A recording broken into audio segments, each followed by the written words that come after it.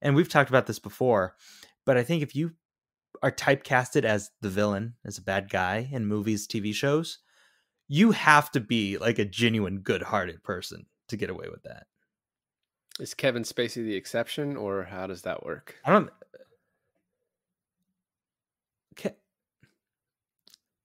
You know, moving moving on. Good question.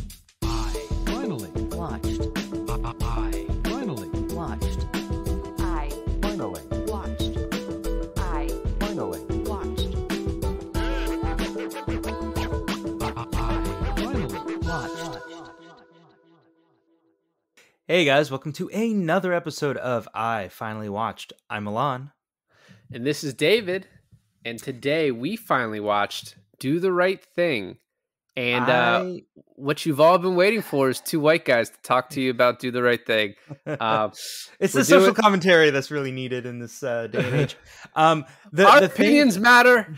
the thing is though is that um i i just kind of realized that i have not seen a lot of spike lee movies but do the right thing has been on my radar for like years. I i was doing this junior project back in college. That's like 12 years ago? Um and so we were doing this uh film test like this camera test to how to like properly show how hot a scene is. Um in a movie Make- so it's like you make it orange, right? Like it's yeah, yeah, you just you make it orange like it's Mexico. No, no, no. So it's like it's well, lighting is part of it, and then in in post you have color correction, obviously, but then it's like how to make your characters sweat, and then the kind of um, there's this thing, and it's and it's in do the right thing where the camera it's on the three guys on the bright red brick wall behind them and i love that shot. Um and it's like the i don't know how to the steam or the the like the heat waves coming off of the sidewalk so it like makes all the the people wavy. Um and so yeah so they were like trying to describe me that scene and i was like i don't know what you're talking about and they're like you've never seen do the right thing i was like no so 12 years i was like i need to sit down and watch it and now i finally watched it Yeah. So for Spike movies, I think I think I probably got into Spike Lee with Inside Man, right? And so before that, like of his movies I knew, I knew that he did Do the Right Thing and Malcolm X. You know, and I'm obviously like a little young when he was coming up. Um so I started with Inside Man and then uh, Miracle at St. Anna, which was his next movie, which was kind of much maligned. There's a lot of like spike movies that like really have like poor ratings but i'm gonna go through them all and i'll let you know um and so like this you know i was you know obviously like inside man's like one of my favorite movies and so it's like you know kind of got to go back through it inside man also like you know obviously has you know spike lee deals with a lot of like you know racial topics in his movies um and Sure. like ins- inside man deals with that too but kind of in a funnier way and it's really like part of the plot and like part you know there's still it's like a very plot driven thriller movie and so going back to some of his more kind of I, I mean for lack of a better term for his more important stuff um no i wanted to and so we're doing a whole month we're doing this malcolm x once again it's us two talking about uh malcolm x uh 25th hour miracle at st anna and jungle fever. No we're not. I mean maybe one day uh and then BlacKkKlansman. Yeah. And so I, in the middle of the pandemic, watched She's Gotta Have It, which is his first movie. And I'd like, I don't know that I necessarily enjoyed it because it's it's very like, watch it huh? watch what you say Well, no, no, no, no. Like, I didn't know what I was going into, and I think it's a very kind of experimental movie. There's a lot of um just the characters talking to the camera, kind of explaining their motivations and things like that. It's very interesting. And um it's one that's like stuck with me if I didn't I wasn't like what you know what am I watching here? There's there's some of that too. There's some first person POV and Do the Right Thing, but it's it's very stylized with like a purpose too, which I found interesting. And that his first movie was very stylized as well. It was very well done. It looked it was, you know, made in 1986 and it looked great. Um and so it's one that I definitely have to revisit. This one I, so for the whole movie I was like I'm pretty sure something bad happens in this, but I didn't know what. I was kind of the same way as from what I've heard about it, I thought like the end of the movie was the whole movie. Like the animosity and everything was throughout. And uh and I was like, "Oh, like I think I called you. I was like 20 minutes before finishing. I was like, I like or no, 20 minutes in, I called you and I was like, I really like this movie. And then 20 minutes before finishing, my thought was like, wow, this movie is so great, so nice. and then the end. And I think like the way it's, you know, as I was watching it, I was just like, yeah, this is like kind of just a slice of life movie. It's, you know, it's a 24 hour period in Bed-Stuy, Brooklyn. And it's just these people's lives, the intermingling. There's a lot of, you know, people that just say what they mean and say some things that, you know, are maybe insensitive racially. You know, there's a Korean shop owner Sal is an Italian pizzeria guy, and then you have just the black residents, and there's some there's some Puerto Rican residents here and there. And Right. it's just like a day in their life, the hottest day in New York. And so like I kind of got lulled into a false sense of like, oh, so this is just a slice of life movie. you know And what it, it- kind of just real quick, you know what it kind of reminded me of if you ever watched Hey Arnold as a Uh, kid? Yeah. growing up.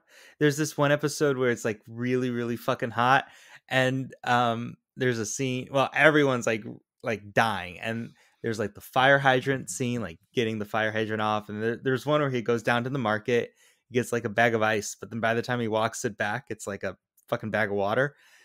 I, I was like the whole movie. I was like, that's just like that Hey Arnold episode. Who who did it better? Who do you oh, think? Oh yeah, Hey Arnold.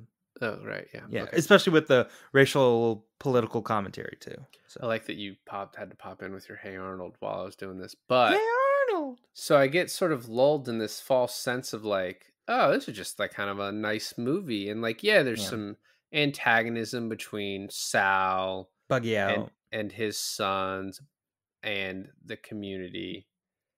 And then the end happens, and it was sort of like a gut punch. And I kind of like watching it almost like physically hurt to watch like someone have the life choked out of them, even though you know it's not real because you know it's happened so much.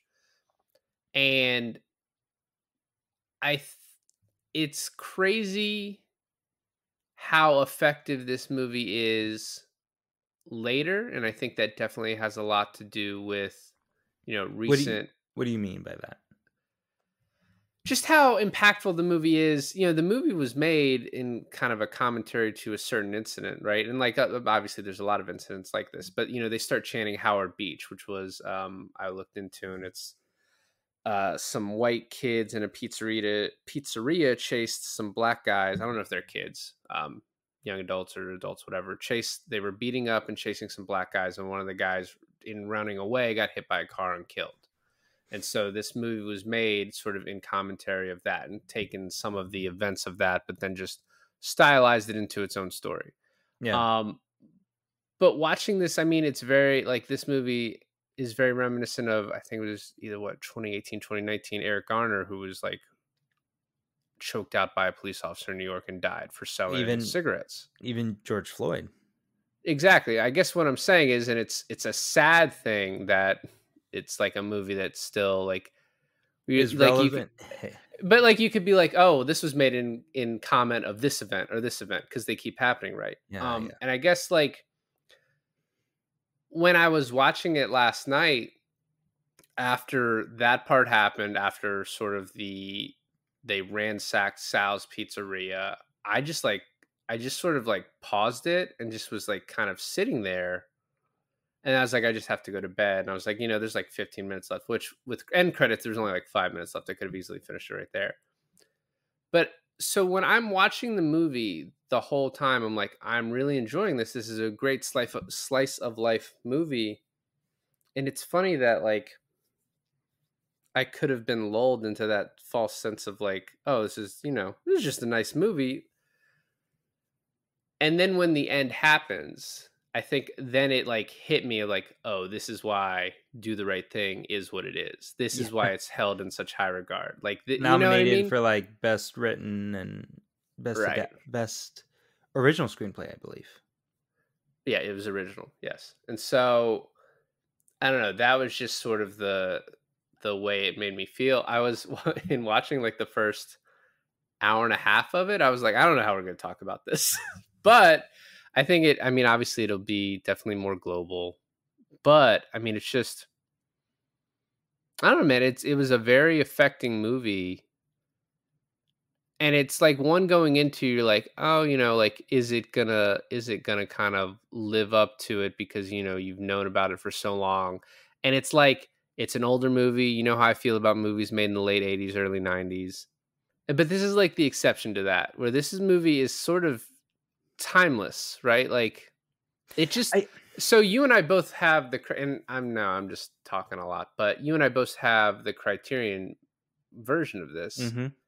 and it looks fucking amazing too. It, it like does. just it just looked so good. um when the uh the beginning of this movie is happening uh it draws you in in such a such a positive way. It's basic it's rosie perez doing interpretive dance but like almost like crunking. And then it, it's it's it's uh and it's just the opening credits. It's just like the names of the producers and the actors and the you know whatever. But it's just like a music video of rosie perez dancing. And it's at times i was like "Oh, maybe this is lasting a little long but it really gets you hyped for the movie like it just puts you in a in a mood and the more i'm thinking about it i was like man more movies should start with rosie perez absolutely breaking it the fuck down um Do no you know but what do you know what movie inspired the beginning of that? I always get What? on to you for asking questions that I won't know the answer to. It's Bye Bye Birdie, oh okay I've which obviously is probably the dancing in the beginning of that for the credits is probably a lot different. I just I I think I've never seen Bye Bye Birdie, but I just love the thought of like him seeing a movie like that and like I'm gonna do it, but I'm gonna do it this way. And um yeah, it it also is what I noticed too. So I started the movie, I watched like 20 minutes of it, and then I had to I had to stop because of kids and life. And so then the next day I just started over. And one thing you notice in that is like the movie that's playing, the Public Enemy song that's playing in the beginning is the same song that Radio Raheem is playing the entire fucking movie on his boombox. oh is it the entire time i knew it was in the last scene i didn't know it was the entire time Well, because he tells uh, bugging out, he's like, "Why would I play anything else? You know, this is the this is the best. Why would I play anything else?" And so, um, it's just I don't know. It yeah, I I like the opening, um, and because this is also in a time when I don't know if the rules still required it at this point, but I you know movies used to have to have the opening credits, right? Like you had to have the credits before the movie, and I think that probably had a lot to do with a lot of the guilds wanting their people yeah to get credit before the movie because they knew people. Would i don't know when that changed if there was like a doctrine coming out it's like you don't you don't have to do that anymore I remember I thought it was with like the Godfather got like an exemption to not do it, and then it slowly changed after that. And this oh is obviously af- during that time like Okay. 16, 17 years after. Um, it might have not been the Godfather. I can't remember because the Godfather probably had those opening credits too. Anyway, I like that, and then we sort of get into the the movie. Um, you know, I guess one thing I want to say too before we start, once again, always doing that thing where we act like we're going to start going through the movie and we don't. I always thought that this movie was going to be good in spite of Spike Lee's acting. He was he was actually really great in it. yeah i actually didn't even know it was him i was like wow i've never seen this kid act in anything after this I wonder what happens to this young guy. He's uh, he's, I wonder what it. happened to this up and coming uh star.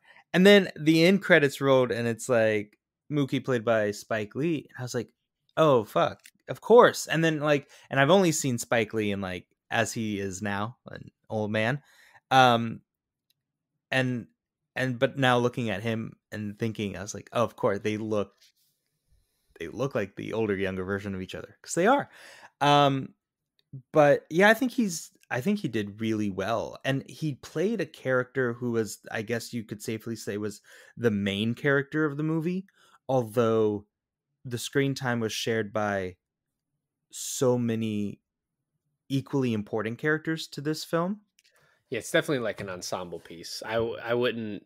Yeah, I think you could say that Mookie was the main character because he was kind of the catalytic drive that connected all these people in this like one area. And at the same time, he was this is going to come off as a negative, but it really isn't. Bland enough to let everyone else shine through, if that makes sense. no, yeah, he didn't overshadow things, which is funny because when we get to the like the alternate casting at the end of this, there were some people who would have overshadowed the movie if they'd gotten parts. Um, which, speaking of which, you then have Samuel L. Jackson as the DJ, who who's basically acts a little bit as like a narrator and sort of a scene setter for a lot of this. And like in the beginning, it's just like, hey, it's hot as shit right now, guys, and there's a water shortage, so you shouldn't Yeah. even be using your water.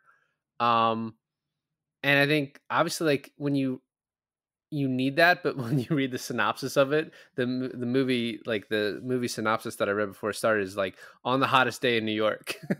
you know what I mean? Like Well, even after that, you pan the newspapers and like in all the different newspapers and all the different languages, um, it's it's hot as shit, right? That's that's how you got to know.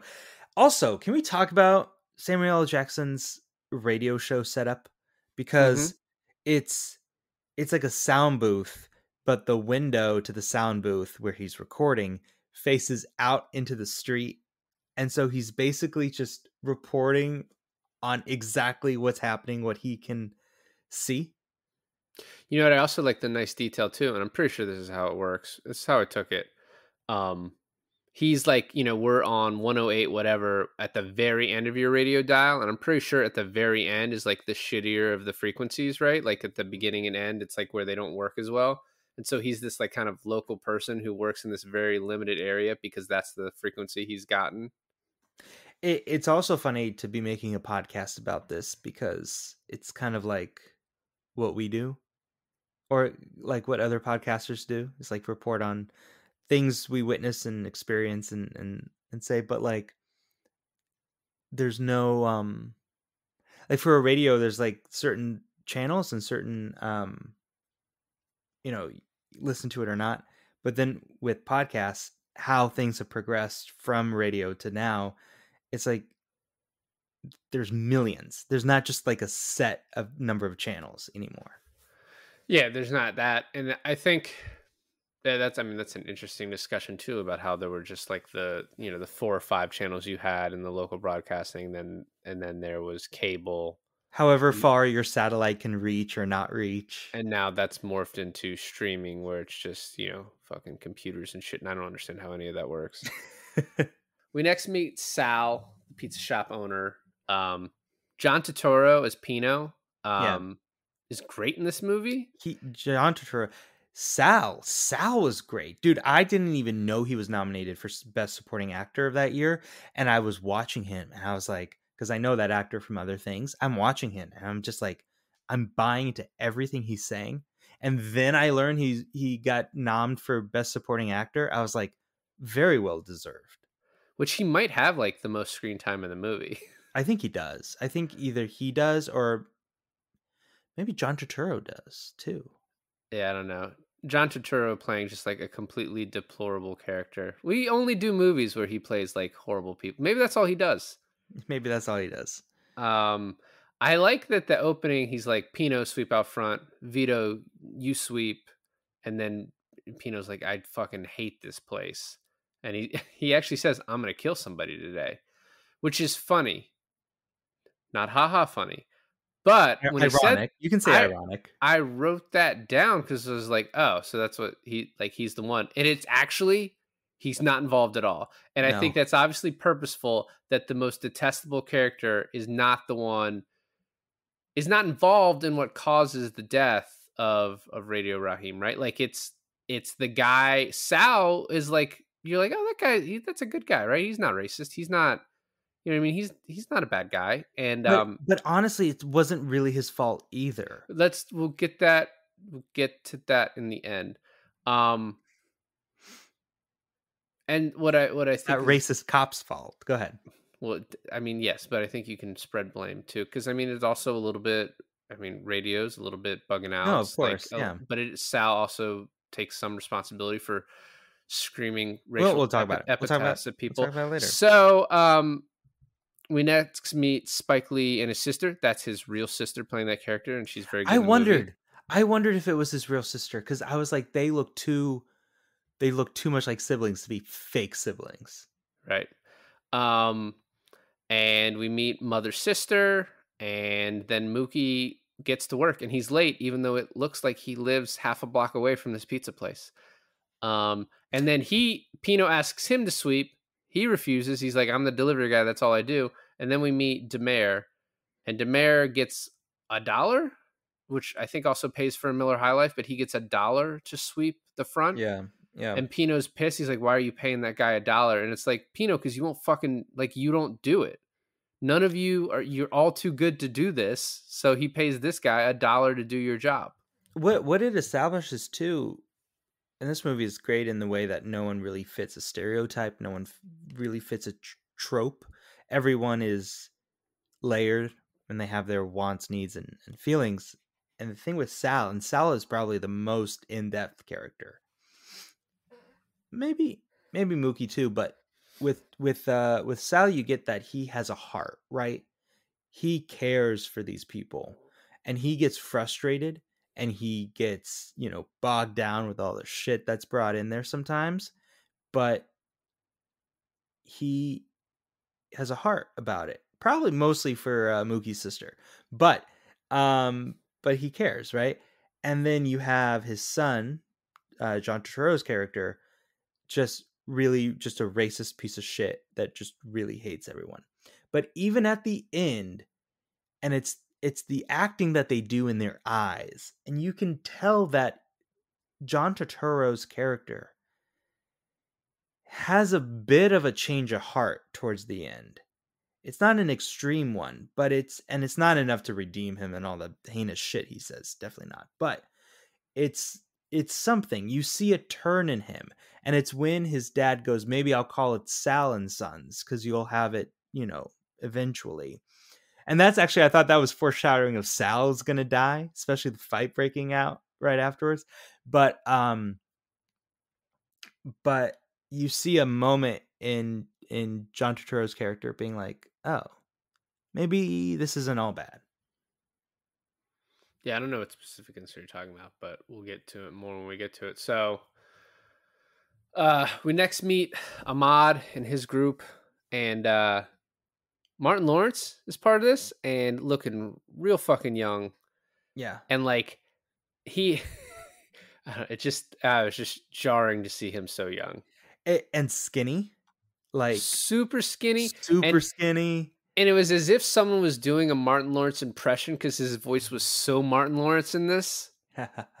it's like the, the only really thing. Well, the it's not the only thing I've seen Martin Lawrence in, but it's the first thing I've seen Martin Law- Lawrence in is Bad Boys and Bad Boys Two, right? Right. And it's that scene where Will Smith makes fun of him. I guess it's either for having too big a ears for his head or having too big a head for his body. But I just couldn't help thinking that while watching him in this movie. well, they make fun of his ears in this movie too. They should have made fun of his head. Well, I don't know. Big, big Um, motherfucking head. We also meet Radio Raheem, and we then get a I don't know if you call it a funny scene where Da Mayor is trying to buy a Miller High Life from the Korean grocery store. He's like, "This ain't Korea or China or whatever," and he's like, "You're asking a lot to make a man change his beer." And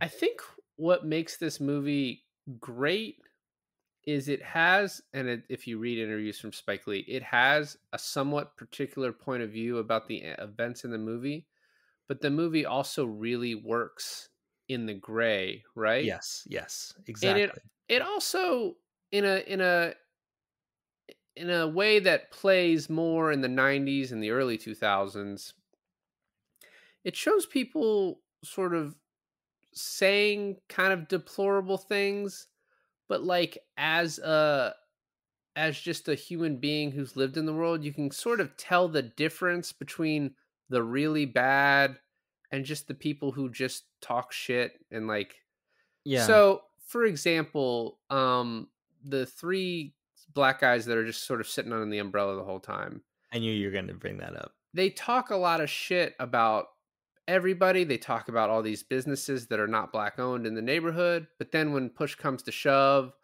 you know, one of them stops them from burning down the Korean store at the end. You know, when they're asked to boycott Sal's, they tell them to fuck off. Like, you know, what are you talking about? Even though they had gotten into it with Pino earlier in the day for him, um, you know, pushing Smiley, right? Right. And so, so the movie is of its time in that I don't really think you could show all your characters acting very subtly racist, but still be like, oh well, you know, that's just how it is, right?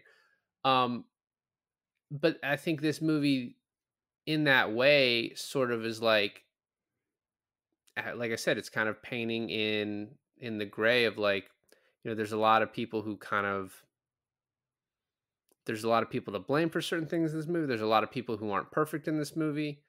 Um, You you honestly didn't even bring up what I thought you were going to bring up, where people like say like racist things, but it's the context and it's the meaning behind it. When you said the three black guys sitting along the wall, when uh when they're talking about the Korean market, he's like, "I'm going to do something about it." He's like, "You ain't going to do shit about it." And then the one guy gets up, he's like, "I'm going to get some beer," and he goes up to the guy, he goes, "Hey, tofu." No, like, he says, "Hey, kung fu." "Oh, he says kung fu." Yeah, even worse. Oh, that is worse. Yeah, Tofu, at least I don't know. Well, no, because yeah, no, I don't know. oh, tofu's bad too, both, dude. Both bad. Both both, Both bad. bad.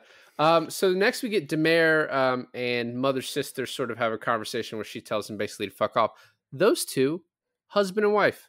Wow. Um, yeah, and he, originally they tried to get someone else for Da Mayor, who I'll tell you about later. Um, Hmm. we meet Rosie Perez. Her mom won't babysit, and it doesn't connect till later to me. I assumed she was involved with Spike Lee's character, but we find out later that he's, you know, that's his son, and um, you know, they sort of have an on and off thing. It seems like. I want to talk about. So we do. We now meet the three um, black guys. It's ML, Coconut Sid, and Sweet Dick Willie. Um, I knew one of them's name was Coconut because they said it, but I don't. No, maybe they did say the other ones. So apparently, all the scenes that they're involved in were improvised. I love the like just the idea of some guy talking shit about how he's not scared of Mike Tyson. I find hilarious. But then his it's a conversation line of, that it's a conversation that three men in their sixties would have today. well, no, today they'd ask how many eight year olds they could take if the eight year olds had scissors. But um, And beyond Joe Rogan. I love the line that he says, if Mike Tyson dreamed about hitting me, he better wake up and apologize, which I don't know if that's just a common line during this time or if QT was paying homage with Reservoir Dogs to this line reading. Um, but I I don't know. I liked hearing it again and I just it made me it made me kind of laugh. Um, and then we meet Giancarlo. Um, which a lot of the stuff I read pointed out that him getting mad about Italian Americans on the board was ironic because he's half Italian in real life. Oh, that's Um, funny. Uh, so he goes in to buy pizza. Extra cheese is two dollars, which I'm still like, man, that's just so fucking cheap. Like for a slice of pizza now, like I guess not really. I mean, the slice of pizza is a dollar fifty, and having extra cheese on it makes it three fifty. That's kind of a ridiculous upcharge. no, no, no, no, no, no, no, no, no. The two dollars was the total. It wasn't two dollars in addition. Are you sure? Yes, Okay. I'm very positive. He says ask- two dollars extra. I'll ask. No, no, no, no, no, no. I'll ask Spike next time I talk to him. But it was two dollars though. You know, speaking of meetings, meeting celebrities, I uh, I didn't like formally meet Giancarlo Esposito, but I saw him at a Comic Con last year, and he's walking out like it's the end of the con, and people are swarming his booth, begging to take a picture. You got to pay like 50, 60 bucks to take a picture with him. he just gets out from behind his booth and starts taking photos and autographs to anyone who wanted one and came up to him. He just seemed like the nicest fucking dude. And he now, since he's older, he just plays deplorable characters. But um, I think, and we've talked about this before, but I think if you are typecasted as the villain, as a bad guy in movies, TV shows, you have to be like a genuine good-hearted person to get away with that. Is Kevin Spacey the exception, or how does that work? I don't. Uh, Ke- You know, Moving moving on. Good question. So We this next happened part, to him. this next part with Giancarlo, whose name is Buggin' Out, um, which is also three syllables. So I was like, how do I shorten this? I'm just gonna say bugging. Um, Bugging out. so he- buggy out. It's bugging if you also look it up. So because he's bugging out, Yeah, I which get it. he does in the movie. So there's this central conflict that I didn't realize it was the central conflict when it starts out of him saying like, "Why are there not black people on this wall? Why is it all Italian Americans?" And I was like, "Surely that's not going to come up again." And it, it does. It's the central If you thesis read, of the movie. it is. If you read like the Wikipedia synopsis of the movie, it's uh when Mookie's friend Buggin' Out goes into the Italian restaurant owned by Sal, he complains about the thing which starts a racist fire within the neighborhood. I was like, oh, it's the whole movie. It is. Well, I mean, it is a.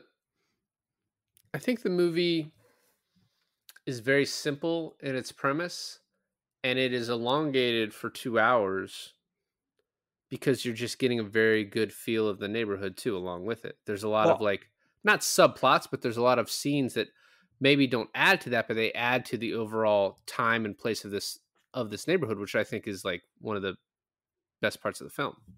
When Buggin' Out mentions there's no African Americans on the Wall of Fame in Sal's restaurant to the point where they come back at the end of the movie about it. You have moments throughout the movie where he's trying to boycott and get people behind his boycott on Sal's. But other than that, there is no mention and no conflict of this. Right. Well, because he he keeps doing it, it's not working. You feel like he's going to keep giving up, um, but he doesn't. So he kicks him out, and he's like, "We're going to boycott Sal's." And Mookie comes up to him. And he's like, "You need to shut the fuck up. You're going to fuck my job up." And he's like, "Do not come back for a week." Um, and then we get the name of the movie. The mayor says, "Always do the right thing," and I was like, "Ah, it's great. It's great to have it in." Which apparently No one you know, we have we have this conversation all the time about does the title of the movie come first and it gets put in the movie? And i'm always like surely they take it from the movie. But i read in an interview spike says the first idea he had for the movie was the title. So then that means he purposely put it in this movie to have it in here. It actually makes really good sense for it to happen that way for this movie particularly because the whole theme like the motif of the of the movie that gets very detailed in the end is do you sit there and do you do the right thing or do you sit there and do you let the bad things happen? And so for him to be like all right i'm making this movie about this and i wanted to be called do the right thing that makes way more sense to me. And then after this we get kind of just a montage of different ways people are dealing with the heat. Um you know they open the fire hydrants which was a really cool scene. It was well shot Radio Raheem comes up and they all talk shit to him but they also seem to be like afraid of him right because like there's a guy that comes up right after this and they spray the dude's car completely soaking it because he was like over the top about don't spray my car don't spray my car don't spray my car and it's like if you tell someone 17 times not to do something, eventually they're gonna be like, all right, well, you've now offended me.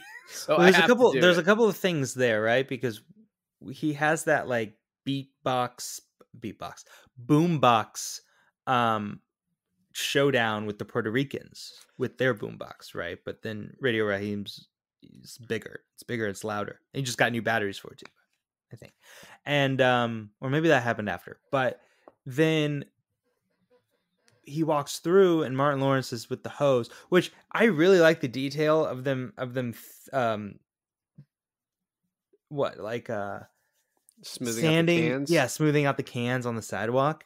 But um, it's almost like maybe it's fear.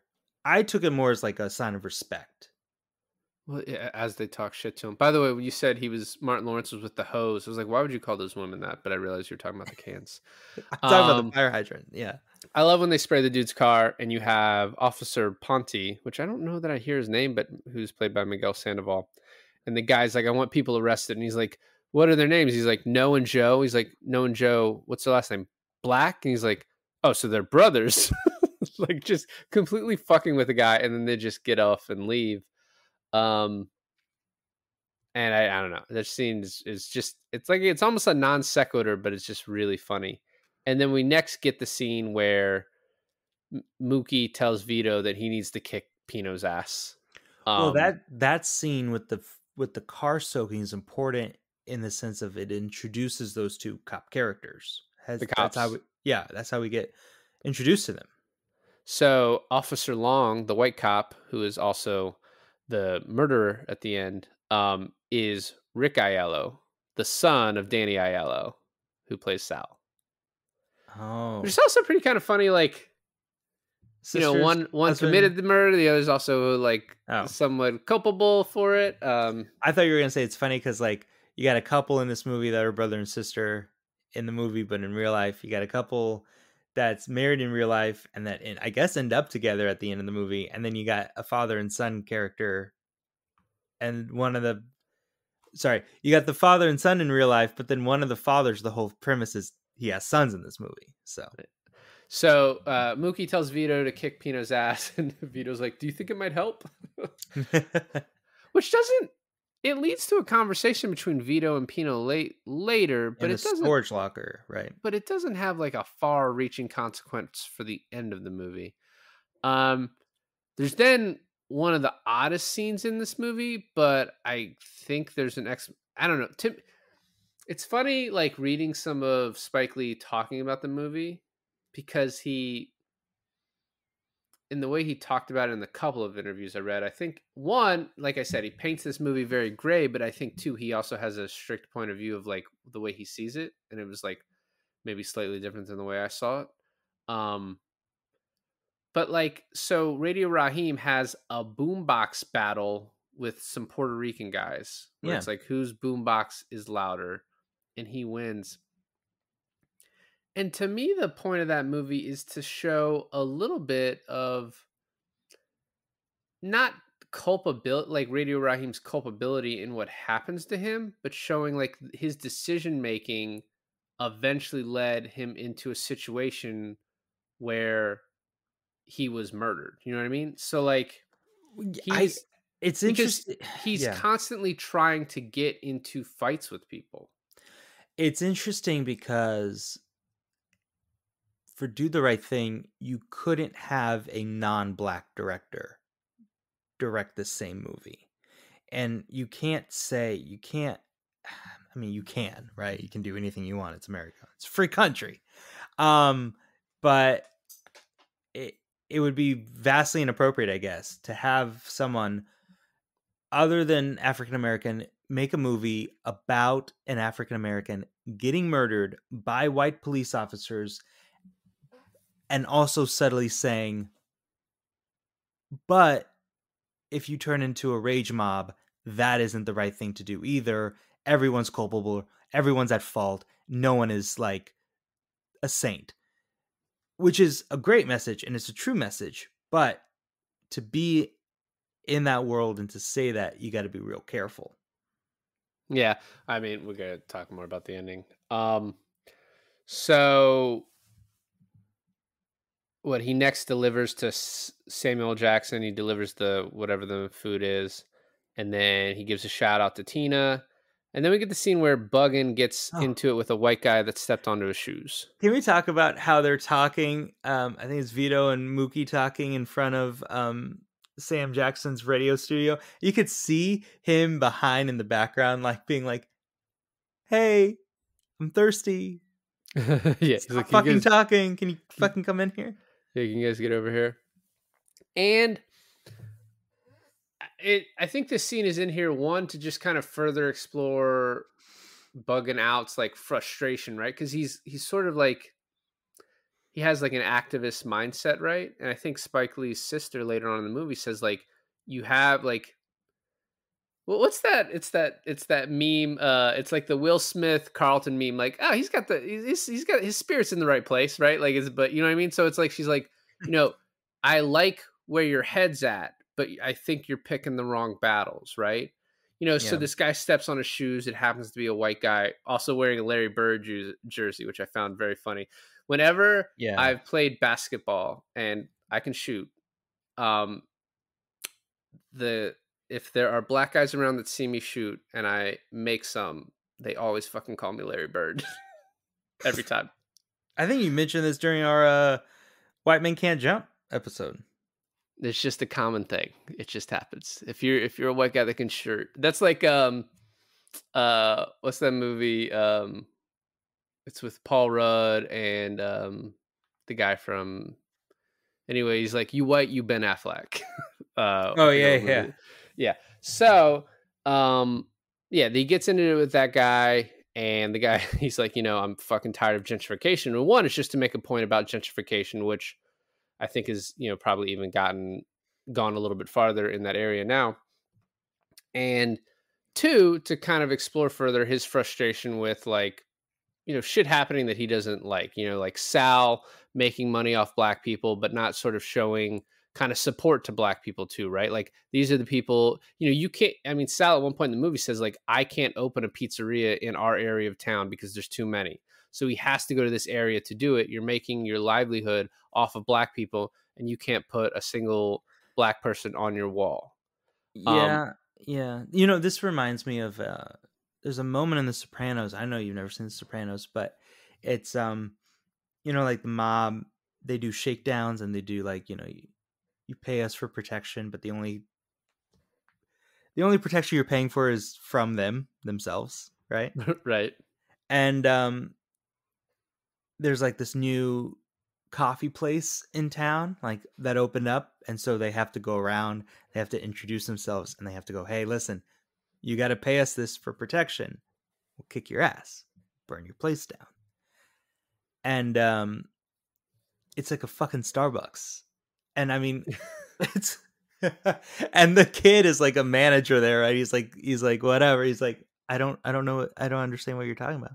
You're going to pay us. He's like i don't think i'm allowed to take cash out of the register unless you buy something.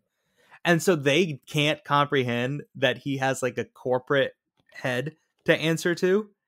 So they all of a sudden find themselves like not being able to benefit off of small businesses because everything is being gentrified into like huge corporate thing i i don't know it was No, that's- funny It's actually hilarious. Yeah. Um, and I'm not just saying that in a to move on point away. No, that's, That's actually, actually funny point. really hilarious it's I'm dying on the inside.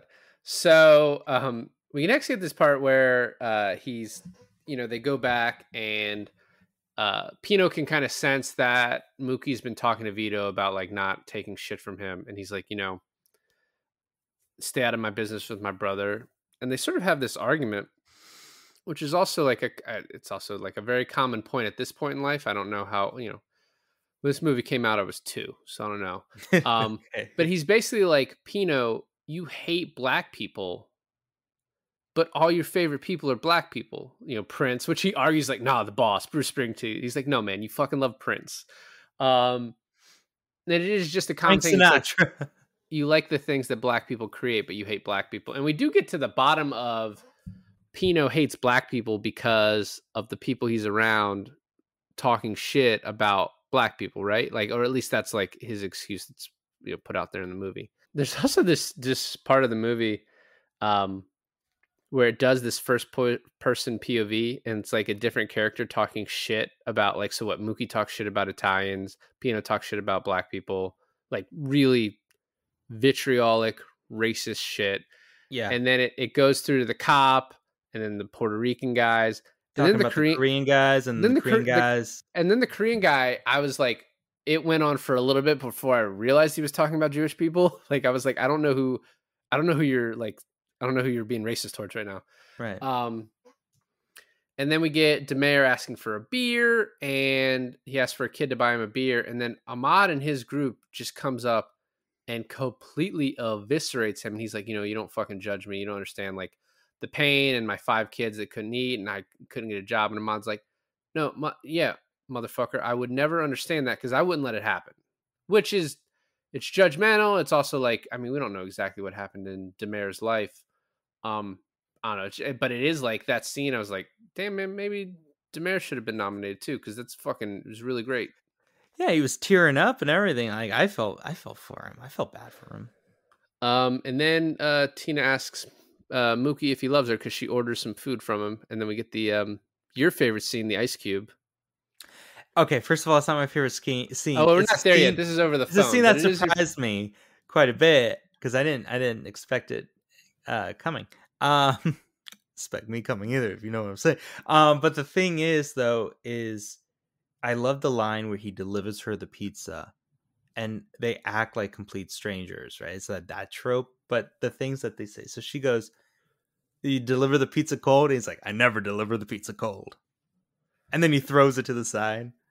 Yeah. I love it. It's great. So we also get this part. I think we need to skip ahead, like because there's a lot of just stuff that's yeah, still. yeah, I agree.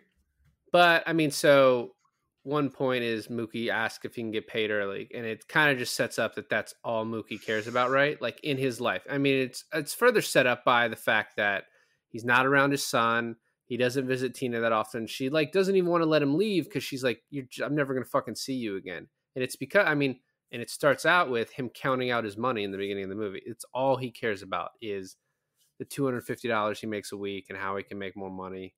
Um, and it sort of sets up his reaction in the end, right? Which keep saying we're going to talk about, and we will talk about. Um, so I think maybe we should skip ahead to when his sister goes to visit Sal, Yeah. and there's also a scene where Raheem's boombox dies, uh, which is just once again just kind of a funny scene. But uh, Jade is going to go visit Sal to get some pizza. She stopped by Buggin' Out on the way there, and it's the conversation we talked about where she's like, "You need to focus your energy a little bit." She's like, "I'm still going to Sal's," and um, maybe that happens after. Who knows? But he go- she goes there, and Sal's demeanor could not change more yeah. he is definitely very smitten and fucking mookie takes jade outside and she's like you, you can't come here anymore i can't deal with this and then he says something to sal too and sal's like i should fucking kick your ass for even insinuating it's like come on sal what do you mean But also, it's not just the way Mookie was looking at the two of them flirting. It was the way that Vino was looking at them flirting too. He was not happy about it. Yeah. And I mean, I think the point of that scene too is to sort of set up, you know, Sal has paid Da Mayor, apparently gives him a dollar every day just so he can, you know, buy a little something for himself, normally a beer. He seems to be very smitten with Jade, who's black. You know, he helped out Da Mayor, right? So it keeps setting up so that when the ending happens, it's just more impactful of like, even this guy, you know. Um so we get the mayor saves that little kid and he tells the mom she doesn't need to beat the kid he's already pretty scared and she's like i appreciate it don't fucking tell me how to raise my kid. And he's like you're right. You're right. Um you know what's funny? In the beginning of this Da Mayor says to mother sister he's like you're gonna respect me one day or something like that. You're gonna be able to handle me Uh, so even we're if gonna we're, like- even if we're even if we're dead. Yeah. and i was like are they gonna die? He's like even Well- if we're not living? Yeah, I think he I think he says you're gonna like me. You're gonna like me, you know, even if we're dead. And um she does. She she likes him by the end of the day. Yeah. So we have the ice in the whole body scene when he goes over to Tina's. I originally the there was a phone call and then it goes to this. So he gets back to Sal's and I I like this part where he's like, Sal, man, if you want me to you want me to deliver any faster, I need a rocket pack. And I love Sal's response of like, I didn't say nothing. Seems like you have a guilty conscience. What were you doing? like, I didn't say you took too long this time. So you know what's happening? Um and then they are about to close. And there's a small scene before this where Buggin' Out talks to Radio Raheem. You know, Radio Raheem uh, uh, earlier he met with Mookie and had that conversation about his love and hate.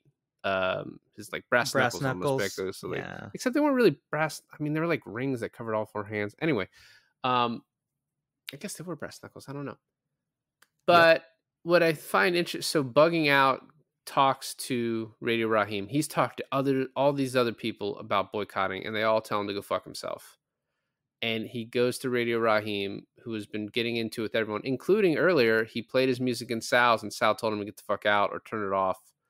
And he does turn it off, which is like I don't know. There's a pretty loud boombox inside. You know, I get why he didn't want it on. Um, and then, but it's just he Buggin' Out. Finally, gets a person who's willing to listen to him about this boycott and is willing to be like, you know, maybe we should. And you also have Radio Raheem, who has been getting into it with a lot of people today, right? And Smiley. so we lead basically to like kind of the penultimate scene um that we've been talking about over and over and they are about to close right and it's kind of like this trope of like oh man if they had just stayed closed but ahmad and martin lawrence they come and they're like we want pizza and sal being the nice guy he is he's like these people always you know they're good customers let's open back up we'll feed them Yep. he does that and then Buggin' Out and Smiley. Radio Raheem. Oh yeah, I forgot about Smiley joining the crew too. Yeah. They come in ready for a fight. And I think it's interesting that Ahmad and his group are completely on Sal's side. They're not doing anything to help. They're completely on Sal's side. And Yeah, then yeah, yeah. Sal throws out the N-word and they're all like, What the fuck? Like, oh, and then it's just like they're It's over. It's over. Yeah. Do you remember why Smiley's on their side? Yeah, oh yeah, because of Pino. Yeah, it's just in order to move things along. That's a scene we skip. I think I mentioned it earlier. Yeah, he like starts pushing him and he's talking shit. He's talking shit to Sweet Dick Willie. Yep. Um, yeah, Pino. It's funny because Pino talks shit to Sweet Dick Willie, but then later on, Sweet Dick Willie's like, "I don't know, man. Leave Sal alone." Um, and he uses the N word. Tells him to get out. They won't leave, and he takes a bat to the boombox. And he- after there's silence, and then he's like, "I just fucking stopped your music." And Yeah. then and that's he- when radio goes and chokeholds Sal. Well, he, he he grabs him by the collar and he pulls him over the counter, and then they go outside um to to fight it out. And it's just like it's just that kind of um kind of reminded me of a Guy Ritchie film where all like the factors, like all the factions of people that you've met throughout, are escalating into this like one moment, and this is the one moment of uh the, the pop the top's gonna pop sort of thing. So they're fighting.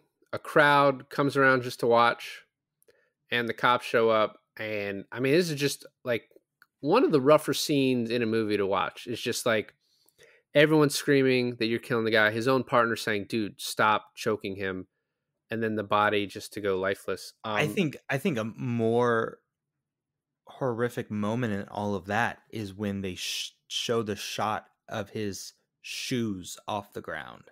mhm. Um, Yeah. That yeah, you're right though. That's that whole scene is very hard to take in, and um, then he's then he's dead, and then they're like, we need to get this body out of here. Right. Yeah. Um and so this is kind of the part I wanted to talk about. So the police are gone, everyone's cleared out, and the crowd is now like, "Hey, Sal, you're also to blame for this." They even say, I think they're like, "You guys called the cops," which I don't think, I don't know who called the cops. they did. Uh, maybe Pino or Vito did. I don't know.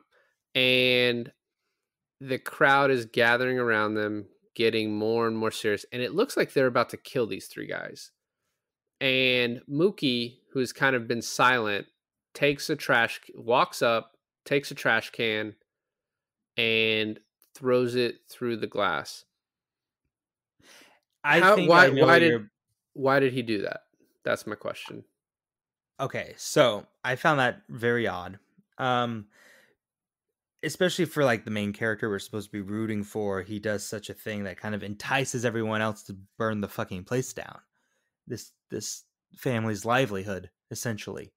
Um I was trying to find the good in it. I was trying to find the positive silver lining in it. So my first take on it was he did that so that the mob would focus on the place instead of the people. That's how I took it. So that's what I thought too. Um, that he that they were about to kill Sal and Pino and Vito, and that he did that to. Spike said that the reason Mookie threw the can through the window was because he saw his best friend Raheem being murdered in front of him. Um, he did acknowledge the alternate theory um, that it was to save them. He said it was never his intention, but he liked that the scene sparked different interpretations. Um, another quote from Spike Lee was, "He's like, in 20 years since I made this movie, which it's been a lot longer now, but when he answered the question, he said, in the 20 years since I made this movie, not a single person of color has asked me why Mookie threw that trash can. He's like, but white people keep asking me why he did it.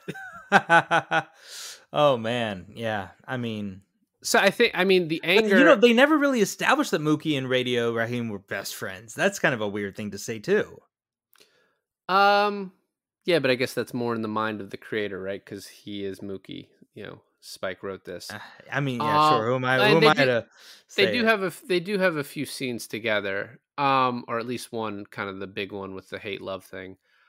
I mean, I think it's just like the anger of his friend was just murdered in front of him, and sort of the helplessness of like I can't do anything about it, and I can't. What I'm gonna go murder cops? No, I can't do that. But this guy who I also deem to be somewhat responsible for this, taking it out on him, and I think it's kind of in the next scene where he goes to Sal and Sal's like, I'm not giving you your money. You fucking my window. And he's like, Why do you care about your window? Raheem was killed yesterday.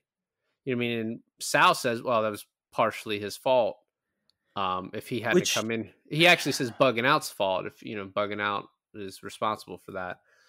Which the movie, as I said, I mean, first of all, there is there keeps is it in the one gray. Yeah. but but there is one th- this, this happens a lot in a lot of situations where like a bad thing happens and there is one person that is particularly responsible for it but then we also look for all the other people who are responsible and sometimes we maybe go a little too far with that i'm not saying that's in this situation because i do think you have this character who this whole time who like as Buggin' Out said has made his living off of the people in this neighborhood and then when push comes to shove just says horrible things to this one guy who did antagonize him but i mean that shit was there right like Well, look, I think I think the point is is that does that does that mean he deserves to be murdered?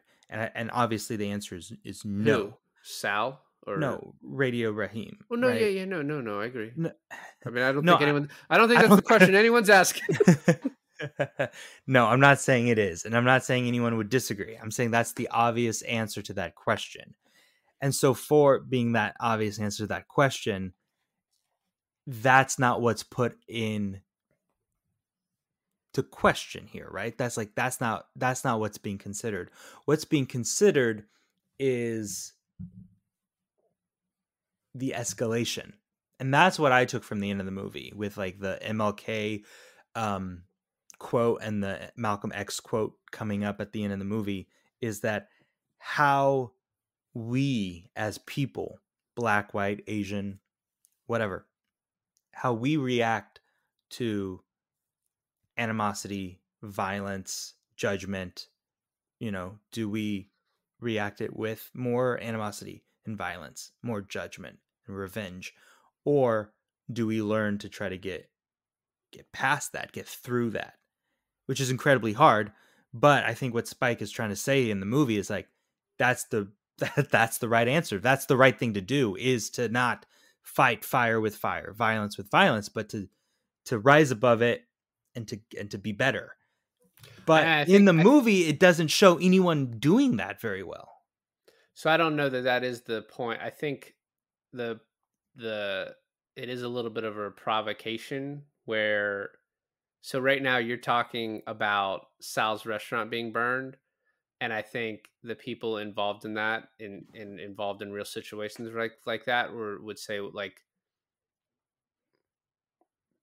that like that isn't the focus. Like yeah, I mean I get that like there was no need to do that, but uh, I, I mean no, I'm not. like it, hold on hold on i'm just saying that i think they would say that one that their anger is justified in this situation that Sal is partially responsible and that at the you know the one thing that Spike does at the end of this movie is there's a um I don't remember if it's a news reporter or Samuel Jackson that says it, but there's some line about like oh the mayor is going to come to this area because he cannot um we cannot allow the destruction of property.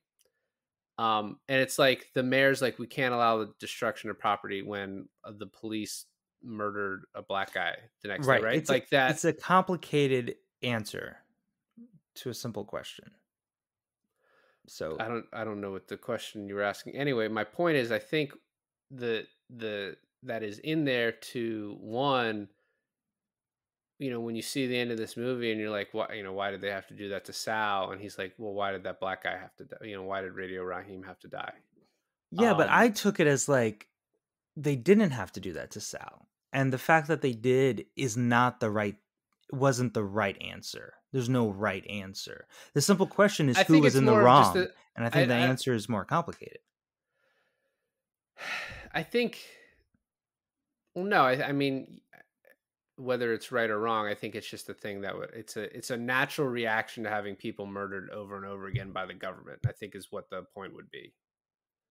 And so then we're at the next day um you know Samuel Jackson sort of summarizing like you know are we are we going to be able to live together? Or like can we can we move on from this? And um Mookie stayed with Tina, and then he has the final scene with Sal. And you know, we talked a little bit about it, but he's like, "I want my money," and Sal's just so exasperated, throws five hundred dollars at him, and Mookie throws two hundred back, and he's like, "I owe 50. And it's almost like this sort of like understanding and respect that Sal has for him for like, and it's almost Only- played as funny yeah, it, well, it's played it funny when he grabs the two hundred dollars off the ground and takes it, but it's like this begrudging, like, oh, okay, like you're, you know, maybe you you are growing up a little bit, like you're you're taking what you think you're owed, you're not taking more. You know, I I threw the money at you as a sign of disrespect, and you're like, I'm only going to take what I'm actually owed.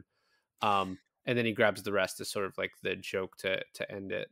I think I think another thing in that scene that you know kind of says everything about the movie is that he says, you know, your place is okay because of the insurance. The the insurance is going to cover it.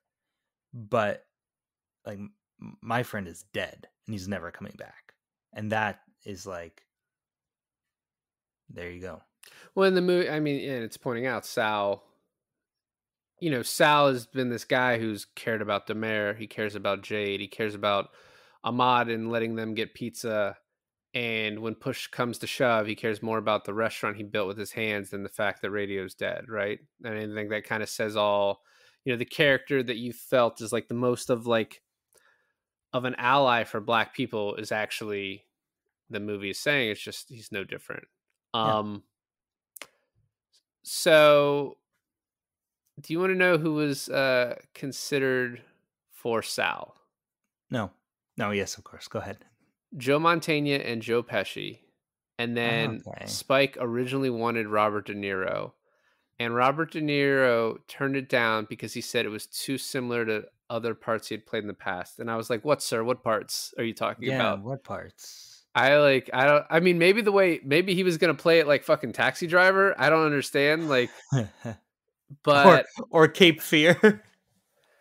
I, I don't I don't know who he was like this is um this is how I'm gonna do it. Laurence Fishburne was offered and turned down Radio Raheem, which I mean Laurence Fishburne's Laurence Fishburne, but honestly I think I think Radio Raheem um I don't know, I think he was kind of. It's funny when you say Ray.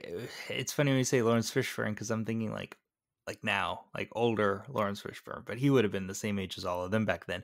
I think Laurence Fishburne would have done great. Yeah, but I think Bill Nunn, who plays Radio Raheem, was pretty great in it. Um, James Earl Jones was originally offered Da Mayor, but turned it down.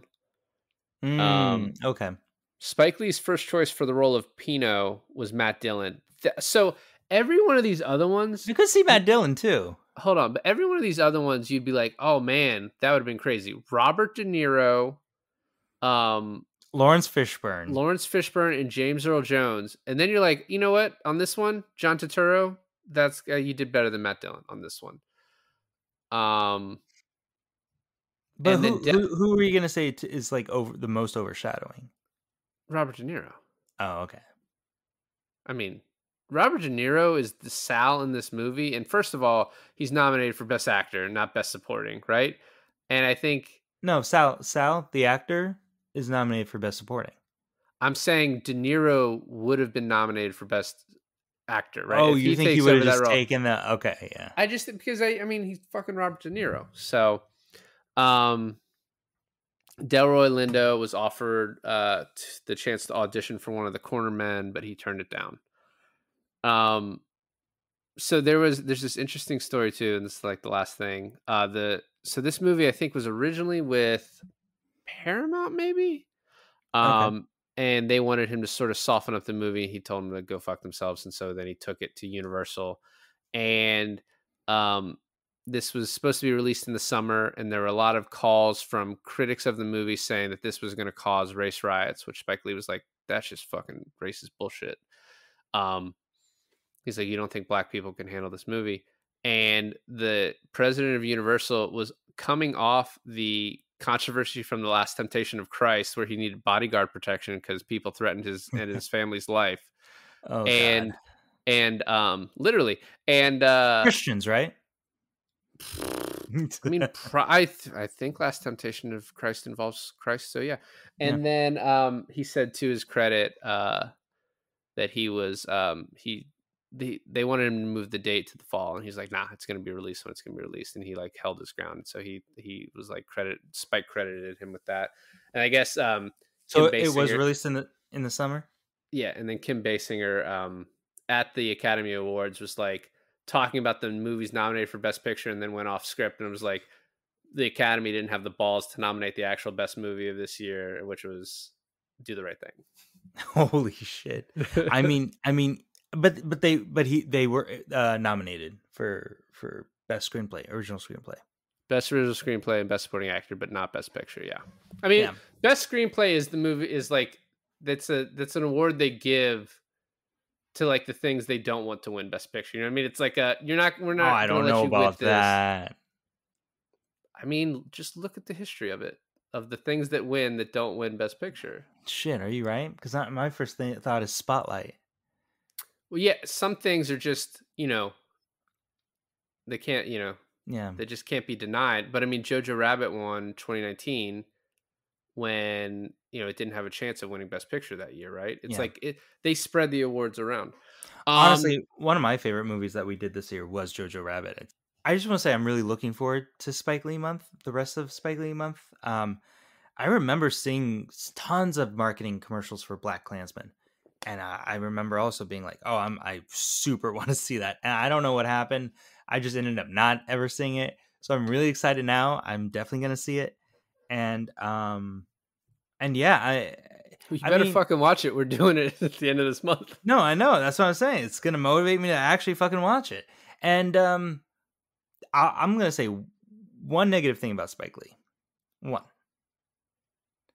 is his adaptation of Oldboy is a piece of shit. But everything else, I'm I'm excited for it. that movie's honestly grown on me and i think it's just i mean this is like a much longer conversation about adapting like first of all adapting korean movies in america is a fraught journey with like because the storylines like the storylines of like a lot of korean movies are just so fucking crazy um But they're also then- like cemented in like their culture, like like things that would happen only in Asia or Korea. Private prisons and f- tr- tricked incest. I mean uh, but like i think one of the reasons that I meant, but one of the one of the reasons that movie is like so shit right is because it's also has the original to live up to.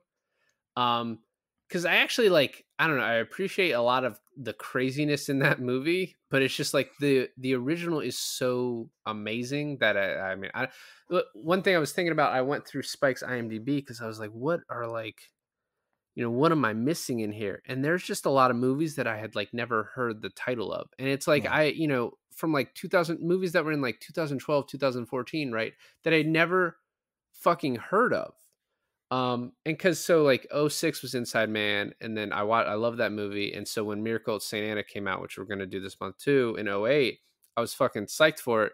I remember going to the movie theater and like, you know, just I love that movie, and it's not highly rated. And then there's some movies that came after that that I like 2012, 2014 that I literally never heard of. Um, and I think I don't know why that is. I think there Spike might have some opinions on why that is.